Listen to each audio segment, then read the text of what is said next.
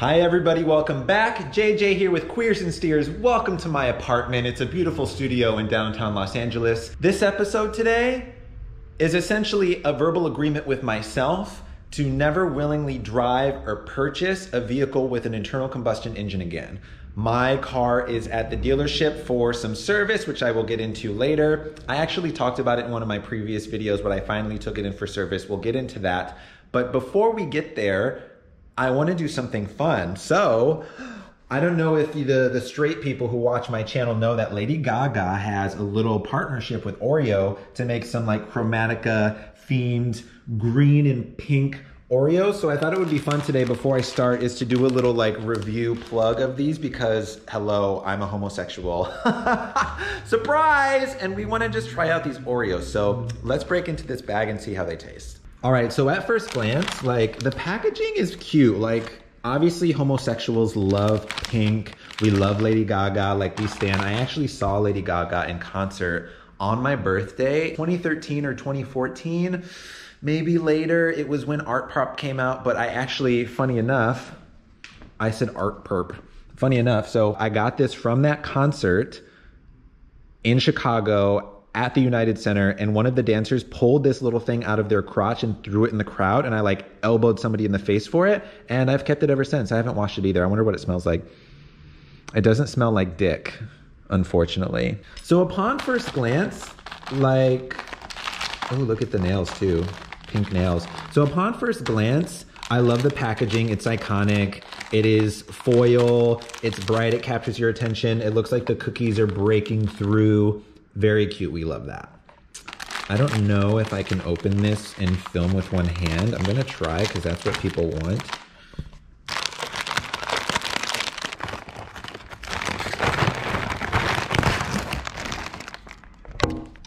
Okay, I tried. I really just couldn't do it. So this is what they look like. They're kind of cute. It says Chromatica on the other side. It just says Oreo as we would expect.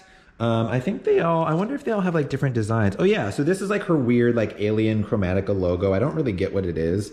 It looks like a person in platform heels wearing a mask with like worms on it. I don't know, but that's like her Chromatica logo. So upon first glance, like same shape, same design, but um, the green filling is interesting. So I'm just gonna like take a bite of this and tell you what I think.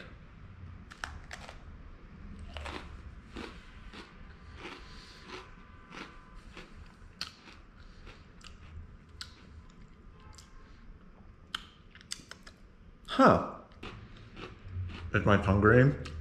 Uh, it reminds me of the vanilla Oreos, like the vanilla golden ones, with maybe like a little bit more sugary flavor to it. It's not bad. So I don't eat a lot of sweets or cookies or candy or anything like that. I'm gonna have another one. They're kind of addicting. But like the cookie part seems like crunchier, like a little crispier. Yeah, the cookie definitely seems like harder to chew. It's like a little crunchier. And it's like a very, just like vanilla-y, sugary flavor. I'm actually kind of a fan.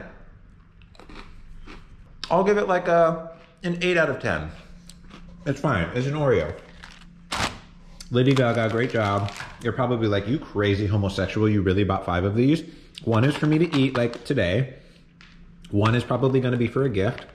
Another one is going to be like for the archive. So like in 50 years, if I need to sell this for millions of dollars, I can. And then these two are just like, man, you never know what you're going to need more for. So that was my Lady Gaga Chromatica review.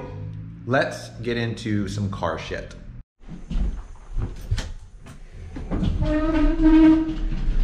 So there's a couple that lives on my floor. They have like 800 children. They're never wearing a mask. Not a single one of them is wearing a mask. And we have signs all over our building like masks required to walk around the halls. And every time I like see them getting in the elevator at the same time as me or something, we just look at each other like, put on a fucking mask in public. Jesus, it's not that fucking hard.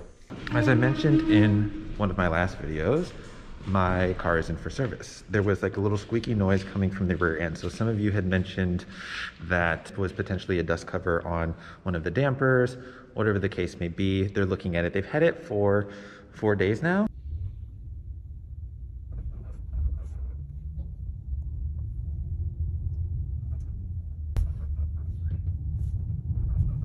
I haven't heard anything back, but in the meantime, I have a little loaner car.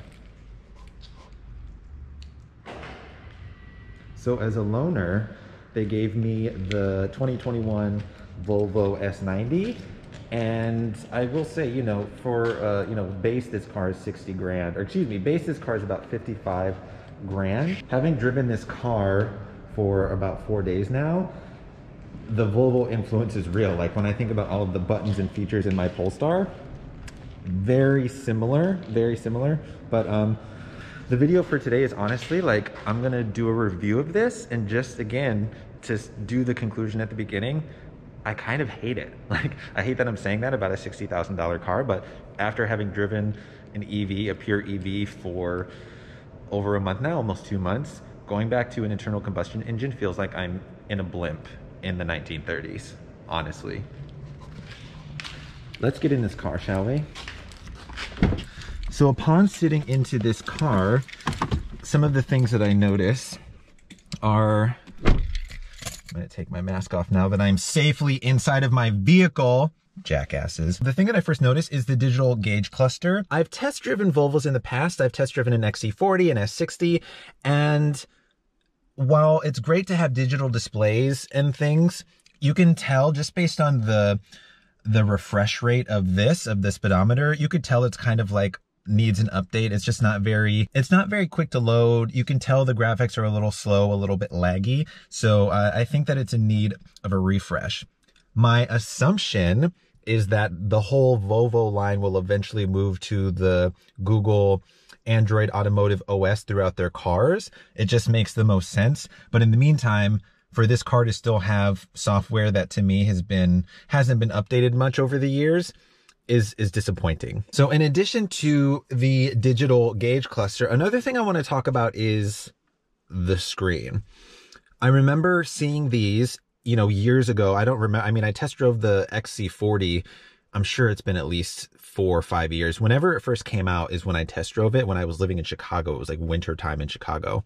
And I thought this screen was amazing. Looking at this now, look how tiny this screen is. I'm to hold my, my iPhone 12 Pro Max up for comparison. Like my phone, like my phone feels like the same size as, as the screen.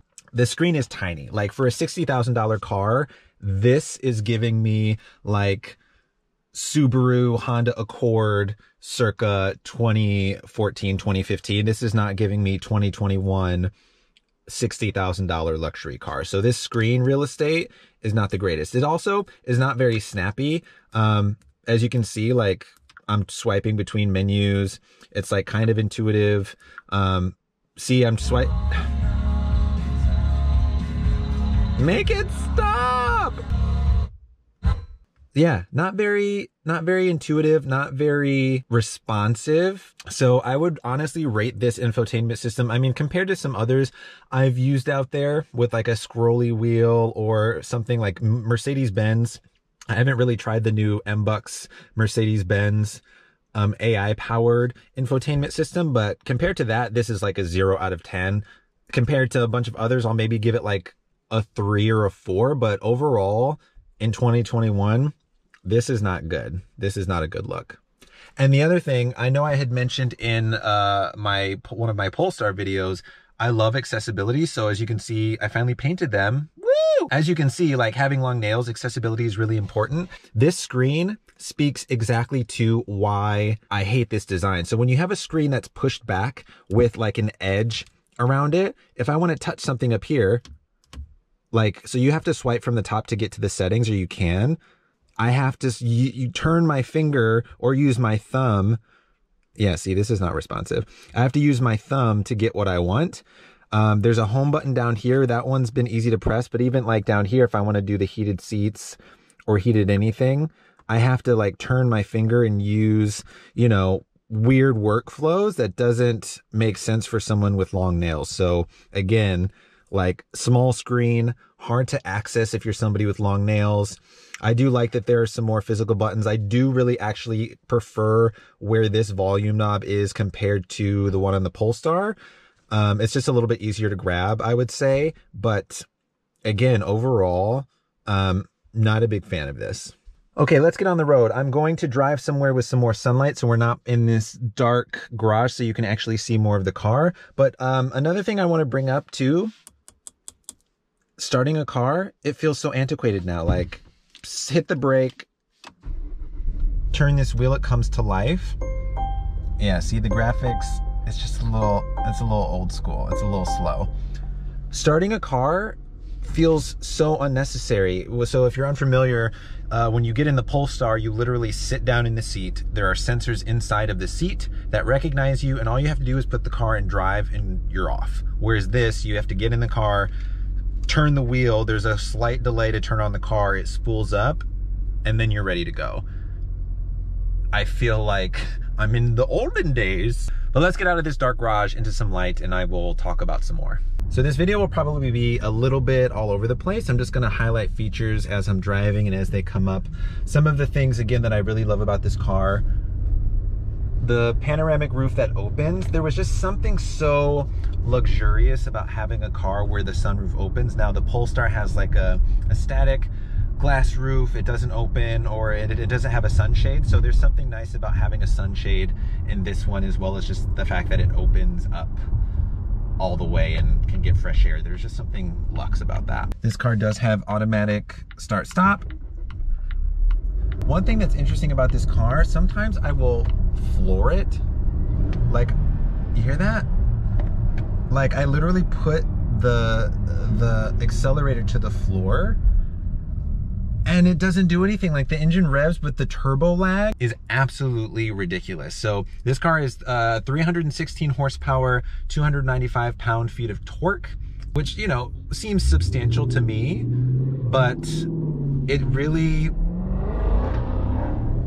people are on one today in contrast the polestar and again i'm just doing this by memory it's a 408 horsepower and i believe 487 pound feet of torque so obviously the Polestar has considerable, considerably more power than this car has. But there's just something about pushing the accelerator all the way down and it not going anywhere. Like again, watch. Can you listen? Hear this. The RPM goes up, but it's not, there's just so much lag Fucking bitch. like it feels like I'm in the the manual mode. You know how when you put the car in manual mode and you're revving and it's just not switching gears? That's what this feels like. Off the top of my head, I'm getting some flashbacks of some Volvo engine reviews of just saying, people saying that they're unrefined.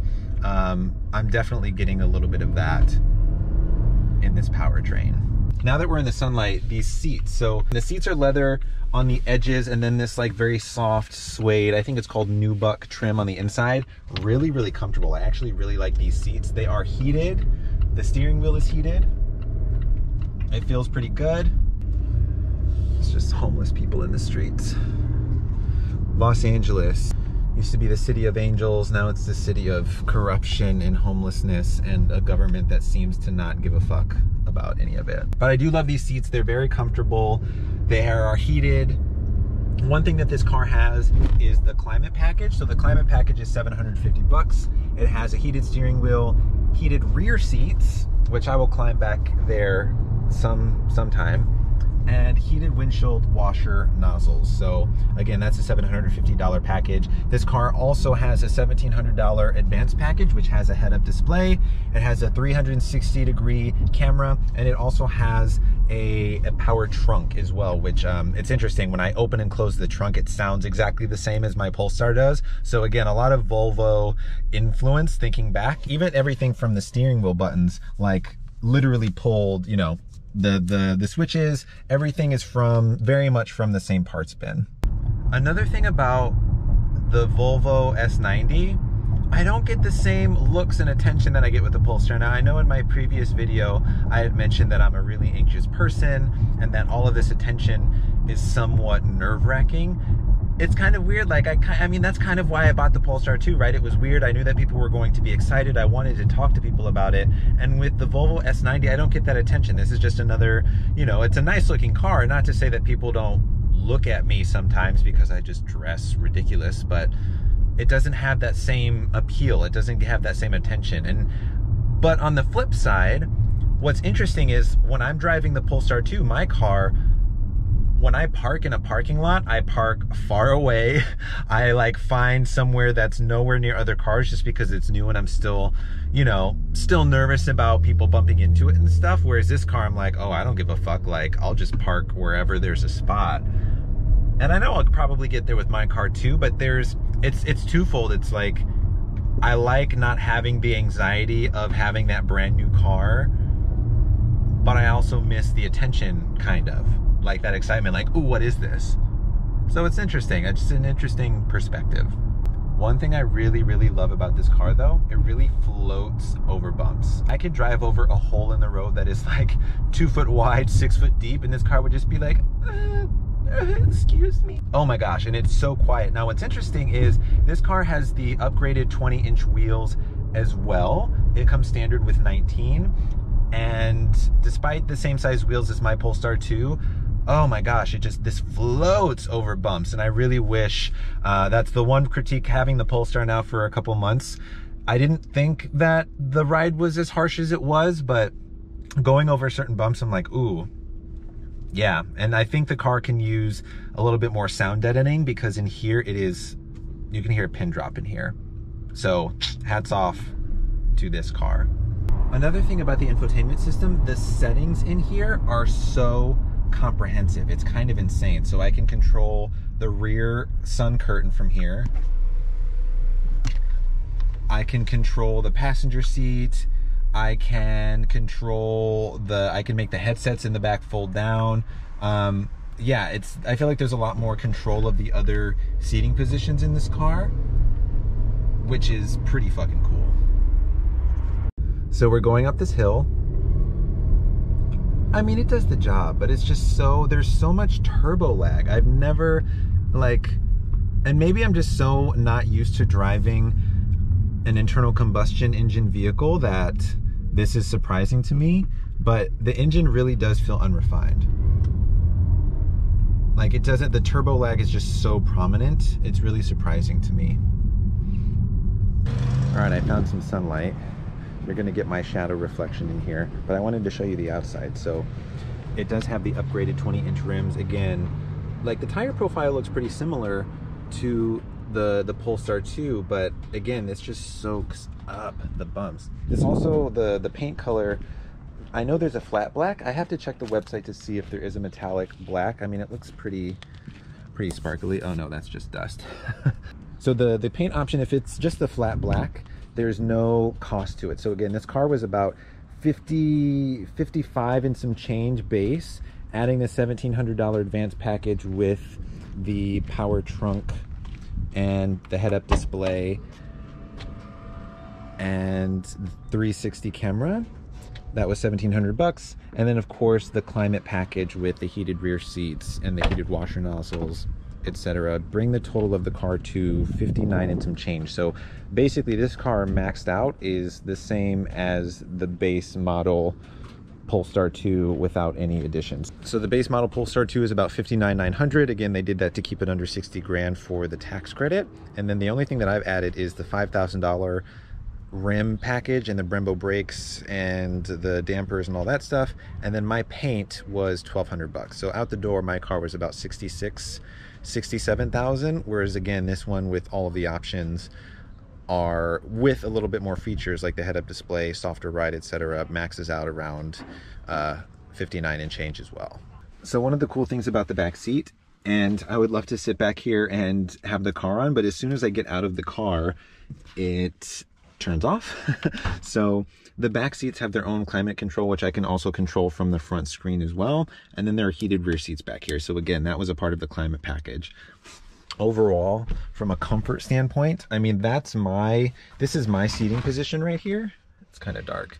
Um, this is my seating position and the passenger seat is further back than mine and like comfort wise headroom is insane um I mean, even if like sitting up straight, like I'm totally upright, hella headroom, knee room and leg room is great. I have room for my feet. It is very cavernous back here. I'm assuming these seats fold all the way down, but the seats are really great. I really like the new Nubuck soft material. Another thing that's really cool about the back seats, so not only can you control your, oh, it has, it has a button like a, a pass-through device. So if you're in the back seat and you're like, oh, this seat is, the, the seat in front of me is too close, you can control it from the back seat. That is sickening. That is so cool. But it's weird because the left side only has the window switch, whereas the right side has all of these controls. So it's kind of like the right side is sort of like the executive side. That's so cool. You can control the sunroof from back here. I am gagged, bitch. oh, sunroof. You can control the sunroof. I am deceased. I've never experienced this before. So yeah, this back right side is kind of like the executive boss bitch side. I bet you can control, which window is this? I bet you can control the left window. so power sunshades, you can control the left sunshade, the left window. The window goes eh, almost all the way down. Damn, someone come drive me because I am not leaving this seat. Like, I can open the fucking sunroof. bitch, I'm deceased. Yeah, so that's pretty cool. I've never honestly seen this before. Um, there's a little trash container there. Um, you can lock the doors from back here. Oh, you can control the back power sunshade as well. So that's very, I've honestly, yeah, I'm, I'm flabbergasted. Like I've never seen like the right side be the sort of like executive side, which makes sense, I guess. If you're, you know, if I'm picking up some bourgeois rich person in a Volvo S90 like they're gonna sit on this side i'm the driver i'm over here that makes total sense um it's kind of cool it's kind of cool back here not gonna lie so again 2021 s90 r design base is 55 345 with the climate package for 750 advanced package for 1700 out the door and i i don't yet know actually if this car can park itself let's look So this is the parking brake. Yeah, I wonder if it does park itself. Let's see. Again, starting a car. so antiquated. Um, yeah, see, like, I literally... I hate it. It's not intuitive at all. So it, it has park assist like it'll beep at you but it doesn't have active park assist so active park assist is a $200 option. If you want the car to park itself it can do that but this model doesn't have it which is totally fine. So again about 55 grand for the base of this 750 for the climate package 1700 1700 for the advanced package. Out the door, this is 59,640 bucks, which is literally like 250 bucks cheaper than the base model Polestar 2. So I think the pertinent question is if you have $60,000, do you buy a 2021 Volvo S90R design? Or am I going to buy the all electric Polestar 2? I want to talk again about the features that this car has that the Polestar doesn't. So this car has the insanely executive rear seat with like its own screen controls. I can control other people's windows and sunshades and the sunroof just from here. It has a huge back seat, very cavernous. Just space in general in this car is not really an issue. This has the panoramic sunroof that opens up. This has the Nappa leather seats. This has a head-up display. It's also using Volvo's pretty outdated at this point operating system. Or would you rather have the all-electric Polestar 2? Again, just from a number standpoint, Polestar 2 has 400, a little over 400 horsepower, almost 500 pound-feet of torque. This has 300 horsepower, 295 pound-feet of torque. So automatically, like, the power that you're getting from the Polestar 2 is insane compared to this car. Ultimately, and again, after driving this car, I will never willingly purchase or drive an internal combustion engine car again. It just feels so it feels antiquated, it feels unnecessary, it feels like I mean, even if you go to Volvo's website right now and you click on cars, it automatically takes you to all of their electric models, whether that's the recharge, like the all electric SUV, the XC40 recharge, or it'll just take you to their plug in hybrid models first. And then you have to click on other cars to even get to their internal combustion engine vehicles. So, I mean, Volvo across the board is is leaning towards and getting to this place of all electric driving anyway. And so, if you have 60 grand, sure, like if you're just afraid to make the leap, like get this car. I think it's great for 60 grand. Again, the engine is not very refined in my opinion, but if you need gasoline or you're, you know, you have a family and you're taking road trips and you'd rather just pull over and fill up in 30 seconds, then sure. But honestly, if I had to pick between the two, 100% I would pick the Polestar. I've become an EV snob.